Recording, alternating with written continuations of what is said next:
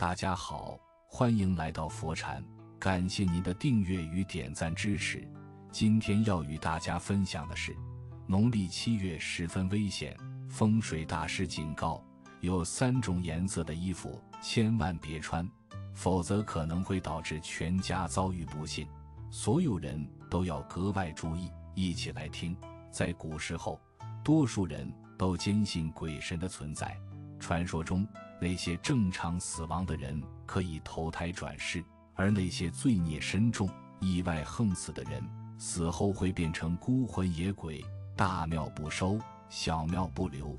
这些无主孤魂在人间游荡，有些恶鬼还会趁机骚扰活人，致使人们遭遇凶险意外而丧命。因此，每年的这个时候。意外死亡的人往往被认为是被鬼抓走了，所以农历七月也被称为鬼月。鬼月的禁忌众多，接下来我们一起了解一下鬼月需要注意的事项以及相关禁忌。一、七月冤魂厉鬼游荡，夜晚野外阴气重。据说每年从七月初一开始，阎王就会下令打开地狱之门。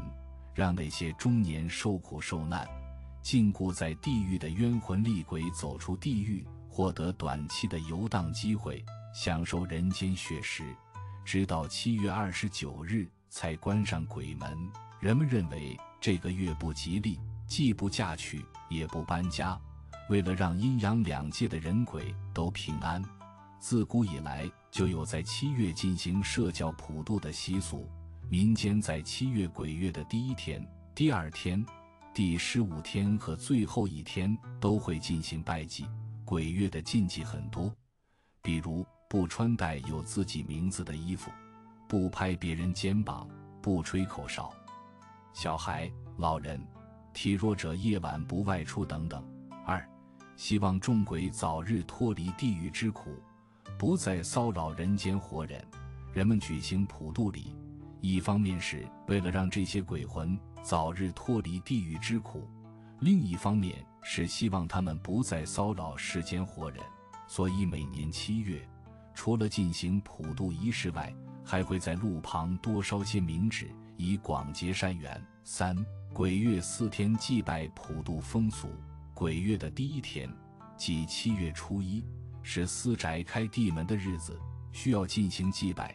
这一天，鬼门初开，诸鬼来到凡间，就像是放暑假一样。祭拜有大祭和小祭之分，大祭是做一桌丰盛的菜肴，小祭则是简单地买点水果饼干。无论如何，都是表达一份敬意。鬼月的第二天，即七月初二，是公共场所开地门的日子，商号。衙门等单位的祭拜比私宅晚一天，祭拜的目的是为了让这个月平安度过，避免发生灵异事件。鬼月的第十五天，即七月十五日是中元节，也就是鬼节。按照民俗，应当祭祖。民间普遍会进行祭祀鬼魂的活动，凡有新丧的人家要上新坟，而一般在地方上都要祭祀孤魂野鬼。所以，这是以祀鬼为中心的节日，是民间最大的祭祀节日之一，也是鬼门大开的日子。此时阴气最重，所以当晚最好不要上街。这一天的黑夜，也就是清晨和深夜时分，是鬼魂的大聚会，阴气最盛。同样的道理，第二天即七月十六日，要在公共场所进行祭祀。鬼月的最后一日，即八月初一之前的一日，叫做关地门。这一天是众鬼放完假期，重新回到地狱的日子。我们要善始善终，在这一天也要进行祭祀，以确保剩下的日子平安。如果当年有开地门祭祀，这天就不能不祭；如果当年没有开地门，这天就不用祭祀。鬼月设有普渡节，各家按照私宅片区划分，按照前人传下来的祭祀日子设宴普渡众生。道光年间的《金文志》卷十五记载：七月说出一日起，特设严僧道舍，叫做盂兰会，俗名普渡，以祭无主鬼礼，设公祭。各家另有私祭，已经没有了公祭，家家户户都在做私祭的同时，也在分担公祭的义务。这一次祭祀完全是出于善意，因为沦为鬼道的人，乃是因为前世犯了恶念，今世在鬼道中受难受罚，刀山火海，以赎罪愆；更有沦为恶鬼者，喉咙狭窄如针，无法饮食；又有孤魂野鬼，中元节无人祭祀，寂寞凄凉。所以，对于为人道的我们，不能只想着自己快活。还需要奉献爱心，如是，则善道不灭，亦可感化其属，劝其向善，早日超脱苦海。四鬼月的民俗禁忌很多，大家一定要注意。在鬼月，还需要注意一些禁忌，例如避免带红绳、铃铛、风铃等招鬼物，尽量避免出门。若遇到鬼压身、鬼打墙等灵异事件，不要慌张，集中一切注意力，睁开眼睛。除此之外，还有以下禁忌需要记住：一、不宜在床边挂风铃，风铃容易招来好兄弟，而睡觉的时候是最容易被入侵的时刻。二、八字轻的人千万不要夜游，否则只会自找麻烦。三、忌乱踩冥纸，非特定场合不要烧冥纸。冥纸是烧给好兄弟的，金纸是烧给神的。烧冥纸只会招来更多的好兄弟。四不能偷吃祭品，这些是属于好兄弟的食物，未经他们同意就动用，只会给自己招来难以解决的厄运。五不能晚上晒衣服，当好兄弟觉得你的衣服好看，就会继续穿，顺便在衣服上留下他的味道。六。夜游的时候，千万不要叫出名字，尽量都以代号相称，以免被好兄弟记住你的名字。七，不能游泳，此时好兄弟会和你玩鬼抬脚的游戏，一不小心命就被抬走了。八，切忌乱看好兄弟，喜欢躲起来吓人，万一乱看被吓到了，就是他们入侵你最好的时候。九，不能熬夜。熬夜人气最虚的时候是在深夜，鬼气最旺的时候也是在深夜，尤其是中元节这一天，最好不要熬夜，因为那时人的元气会比较弱，不利之下最好早点休息为好。十，别轻易回头。当这一天走在荒郊野外或人烟稀少的地方时，觉得有人叫你不要轻易回头，那可能是好兄弟。除了以上十种禁忌之外，在鬼月还需要重点注意个人的服饰穿着。五、鬼月禁忌服装需注意。农历七月俗称鬼月，忌讳特别多，穿着方面的禁忌万万不能触犯。关于鬼月的禁忌服装，要学会正确的趋吉避凶，以保安康。据报道。一直以来，相传穿红衣死的人会化作厉鬼，特别凶猛，所以坊间传闻鬼街穿此颜色的人容易被其他力量强大的阴魂误会你也是鬼魂，或是招来鬼差的追捕。另外，最大的问题是有可能在半夜的街上吓到人。一，白色的衣服不可穿，在我们的心目中，白色代表问丧的象征。例如，丧礼时奔丧的人全身上下均是白衣、白裤、白鞋，所以白色也是一个不祥的意思。除了白色之外，其实麻色也就是所谓的米白色，同样不宜多用。二，黑色的衣服不可穿，在某些地区的传统社会观念里，黑色会带有不祥及灾难，因此。对于一些能看到身体上灵光的人来说，黑色是最令他们不安及恐惧的颜色。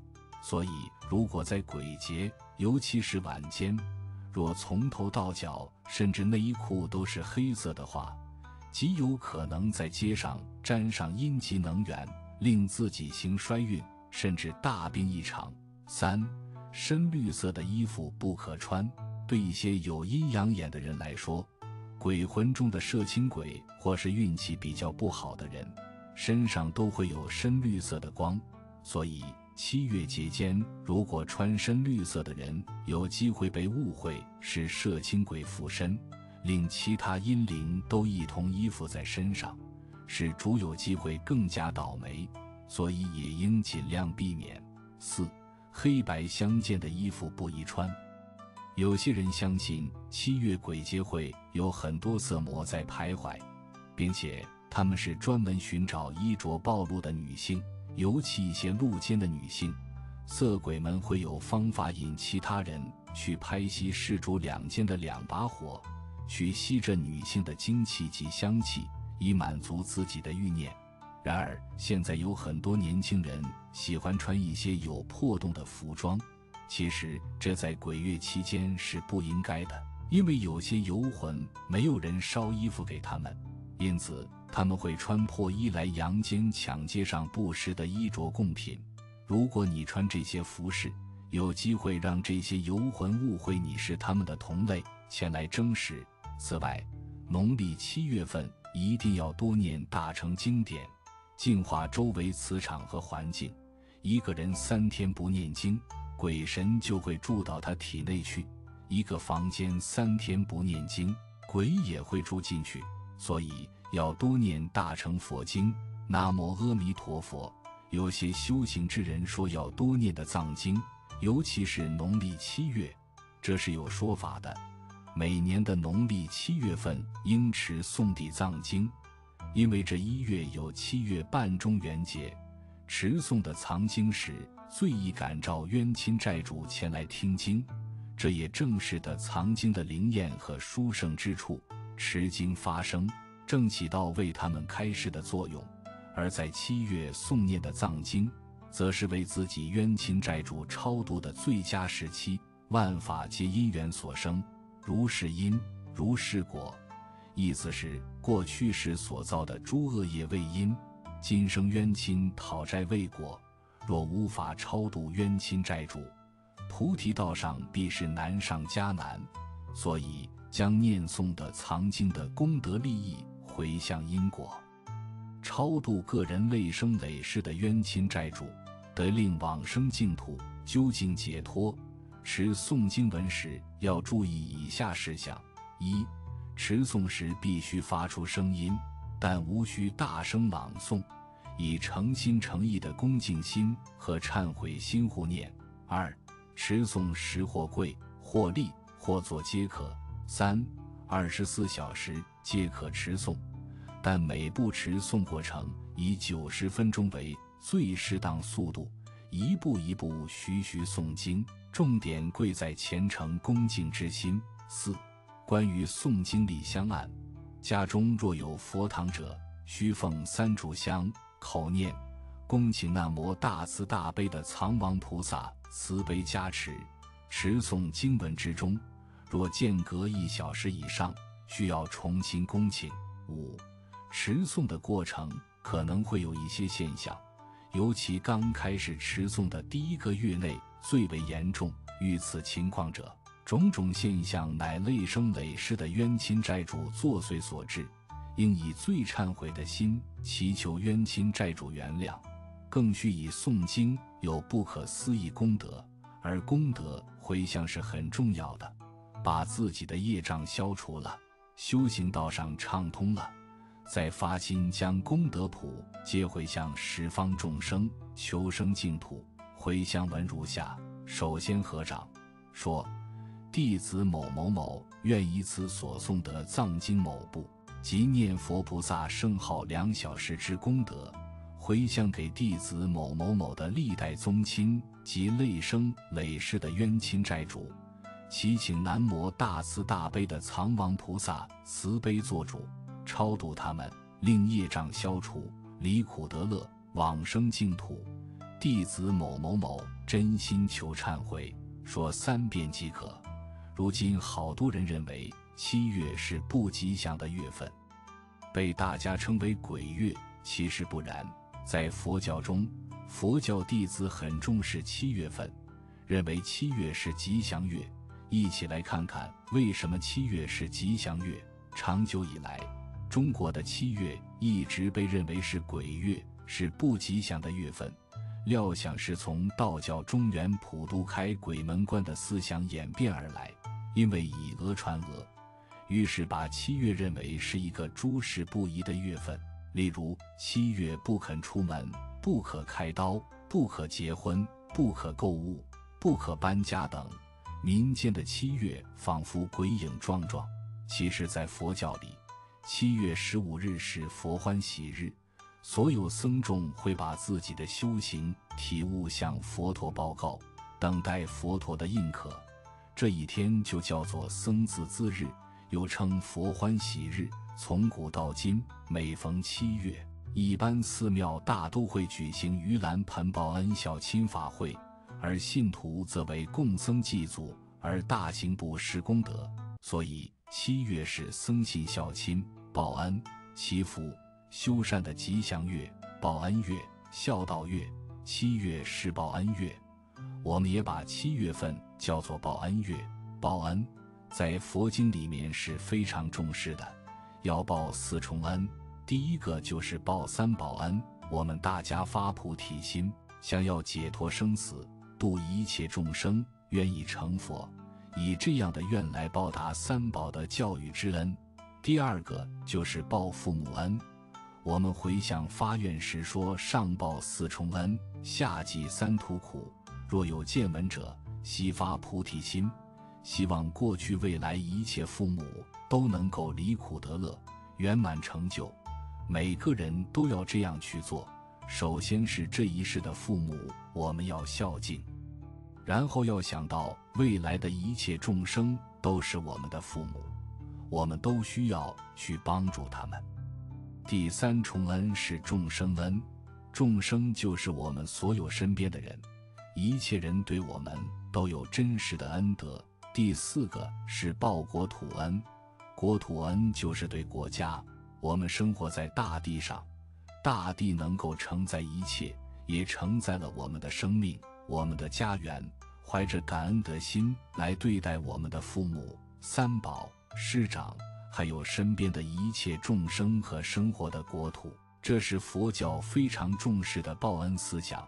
七月是孝亲月，农历七月十五日在佛教中是一个重大节日，佛教寺庙总要举行盂兰盆会。《盂兰盆经》中讲，佛陀在世的时候，他的弟子目犍连尊者已得道果，便欲拔救他的父母。目犍连尊者发现母亲堕在恶鬼道中，苦痛万状，于是目犍连尊者就用钵盛满了饭，请他的母亲吃。当他的母亲将要吃饭时，饭到嘴边变成火炭，不得下咽。目犍连见此，悲哀涕泣。回去告诉佛陀，佛说：“你的母亲因有罪孽，堕在恶鬼道中。佛陀时代，印度夏天的雨季长达三个月，这时候又热又潮湿，蚊虫鼠蚁繁殖。佛陀于是制定节下安居规定：夏季三个月内，即农历四月十五日节下至七月十五日节下，僧众安住一处，减少外出。”避免被虫蚁伤害，也不要踩到虫蚁，这是慈悲的展现。佛陀看到弟子在解下这天觉悟起悟，心生欢喜，所以七月是欢喜月。因为七月成就了很多修道者的道行，所以也是吉祥月。而佛弟子目犍连在解下这天，以供僧的功德解救在地狱中的母亲。这也是一种孝顺的表现，所以七月也是孝道月。生在世间，要常常感恩众生恩，而佛陀就像老师一样，指引着我们走向正确道路。所以我们要感恩师恩，感佛恩。故说七月也就是感恩月。佛弟子在七月能做什么？由于七月十五日是供养僧众利益特大的佛欢喜日。因此，也希望大众能把握这个难得的时机，在七月份多到寺院参加供佛斋僧的盂兰盆汇报恩孝亲法会，多多累积功德，诵地藏经。因为这一月有七月半中元节，持诵的藏经时最易感召冤亲债主前来听经，这也正是的藏经的灵验和殊胜之处。持经发声，正起到为他们开示的作用。在农历七月诵念的藏经，是为自己的七世父母和冤亲债主超度的最佳时期，诵报父母恩咒。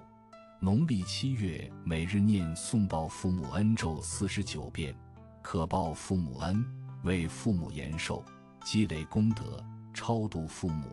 如一日未诵，次日可补。报父母恩咒出自北宋《佛说盂兰盆经书》。孝亲报恩，超多生累劫父母恩重难报，却无以为报。持诵报父母恩咒，心要诚，意要真，无时无刻持诵都可报父母重恩。每天四十九遍，只需一至两分钟，非常简单易行。而且这是普传的显教经咒，所有人都可以念诵。请大家在此报恩月多诵持。佛说父母恩重难报经，以报父母恩咒报现世积累，报父母恩德。今天的分享就到这里了，喜欢的话不要忘记点赞和开启小铃铛，你的鼓励是我最大的支持。深夜读书，每晚陪伴你，期待与你再次相遇。